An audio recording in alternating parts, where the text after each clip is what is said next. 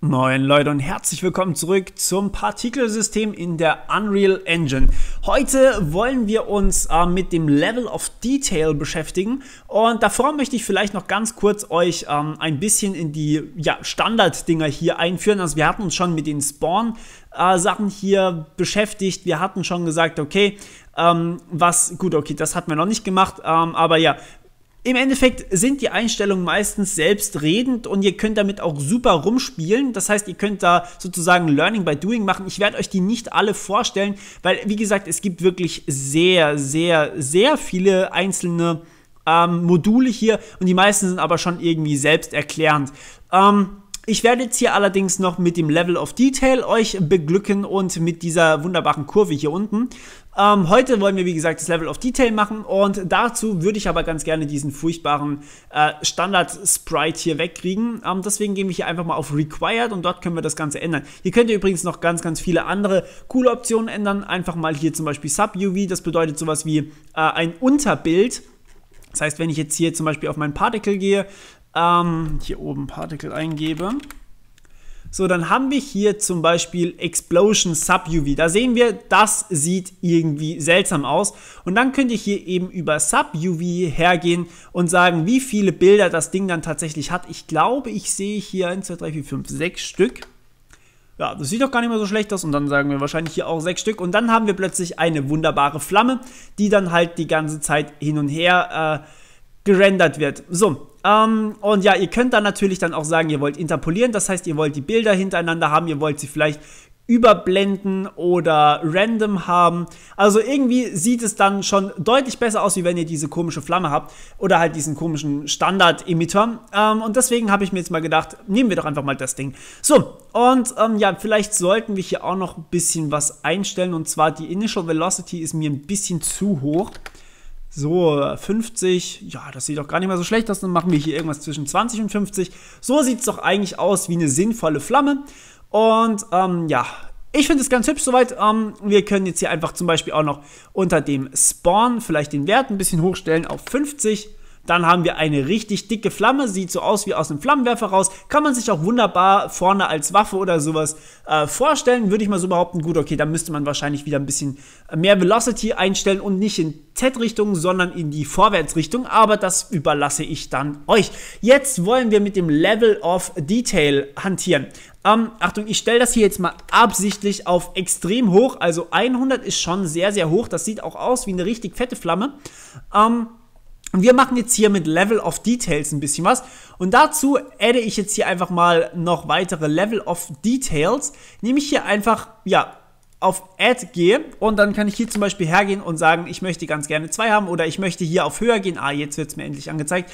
Ähm, oder ich kann eben wieder lower gehen und äh, ich mache jetzt hier mal auf das Highest, das brauchen wir nicht und das brauchen wir auch nicht. Mir reichen eigentlich diese drei Level of Detail. Null ist das detaillierteste Level, das heißt, wenn man Null hat, dann hat man sozusagen höchste Qualität. Ihr erinnert euch, bei Computerspielen ist es sehr, sehr häufig so, dass man sehr, sehr viel Leistung für irgendwas braucht und diese Leistung teilweise nicht auf jedem Rechner verfügbar ist. Das heißt, ihr solltet hier irgendwie mit diesem Level of Details möglichst alle eure Kunden äh, angreifen. Das heißt, ihr habt hier eben die Einstellung ganz niedrig, dann habt ihr die Einstellung Medium und hier habt ihr die Einstellung High.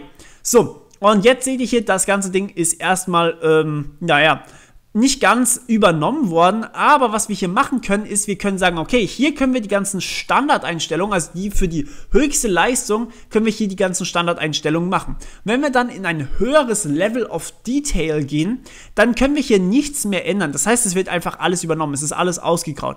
Aber wir können hergehen und sagen, wir wollen jetzt zum Beispiel Spawn erstmal duplizieren von dem höheren Level und dann können wir hier drin alles ändern. Das heißt, wir sagen hier plötzlich nur noch, wir haben 50 Flammen und nicht mehr so viele.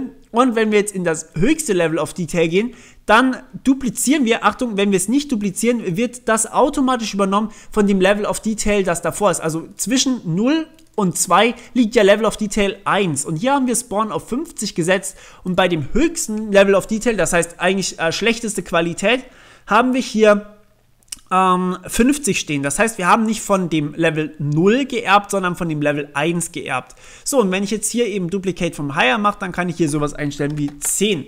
Wunderbar. Und jetzt habe ich nur noch ein paar spärliche Flämmchen hier. Klar, ist nicht der sinnvollste Einsatz von, ähm, von Level of Detail. Da wäre dann sowas wie äh, Größe davon oder Texturqualität oder sowas wäre deutlich äh, wichtiger. Aber zum Beispiel auch die Anzahl an Partikeln kann hier sehr, sehr wichtig werden.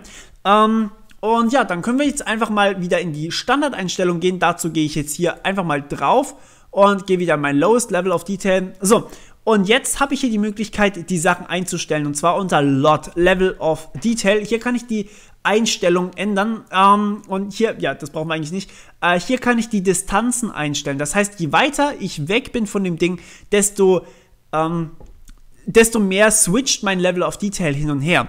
Und wenn ich jetzt ganz weit weg bin, möchte ich zum Beispiel hier, ähm, sagen wir mal 1000 haben. Während wenn ich nur 500 weit weg bin, dann möchte ich eben dieses Level of Detail haben. Und wenn ich ganz nah dran bin, dann habe ich Level of Detail 0. So, jetzt scrolle ich mal weiter weg und jetzt sehen wir hier plötzlich, okay, man sieht es nicht richtig, ich muss die Zahlen ein bisschen anpassen. Ähm, wir werden hier jetzt einfach mal 50 benutzen und hier auch 50. Äh, nee, hier wollen wir 100 benutzen. So, und jetzt scrolle ich mal ganz nah dran. Und dann, wenn ich weiter weggehe, okay, man sieht es immer noch nicht. Ähm, ich sollte erstmal speichern und das Ganze dann ähm, schon gespeichert? Das ging schnell. Das ging erstaunlich schnell für meine Verhältnisse. Okay, so.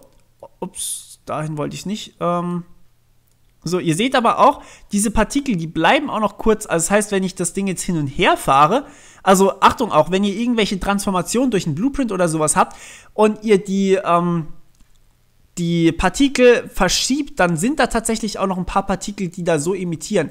So, ähm, ich markiere mal kurz was anderes an. Ich markiere was anderes an. So. Ne, wobei, wir gehen jetzt einfach mal in den Play. Achso, ich komme nicht raus, ne? Da ist. Ach, damit. Ähm, okay, ich verschiebe mal meinen äh, mein Spielerstart hier. So. Jetzt sehen wir hier diese wunderbare kleine Flamme, die eigentlich wirklich nur sehr, sehr wenig hat. Und jetzt, wenn ich näher rangehe, jetzt ist die 50 wieder zu niedrig. Na, verdammt. Okay, ähm, dann müssen wir hier wieder auf, sagen wir mal, 200 und 500 gehen ähm, und hoffen, dass jetzt diesmal die Werte passen. So, ähm, okay, wenn wir jetzt auf Play gehen, sehen wir hier sehr, sehr niedrige Flamme und wenn ich näher rangehe, dann sehen wir hier schon, das ist die zweite Stufe. Wenn ich weiter weggehe, wird es wieder weniger. Wir sehen es hier. Jetzt wird es wieder mehr und wieder weniger. Die dritte Stufe schaffen wir, glaube ich, gar nicht so direkt, wobei das da könnte theoretisch die dritte Stufe sein, wenn er quasi drin steht.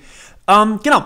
Und damit könnt ihr jetzt gerne ein bisschen rumexperimentieren. Ihr könnt auch sehr, sehr gerne jetzt sowas wie ein Collision in euer Partikelsystem einfügen. Also hier einfach ein neues Modul einfügen äh, und dann eine Kollision und dann eine Actor Collision. Und dann könnt ihr hier drin einstellen, was passieren soll, wenn man reinläuft. Ähm, das würde ich euch sozusagen jetzt erstmal als naja, als Übung überlassen und dann wollen wir vielleicht uns nächstes Mal angucken, wenn ich dran denke, dass wir das dann noch machen. Und eigentlich geht es nächstes Mal dann um den Kurveneditor.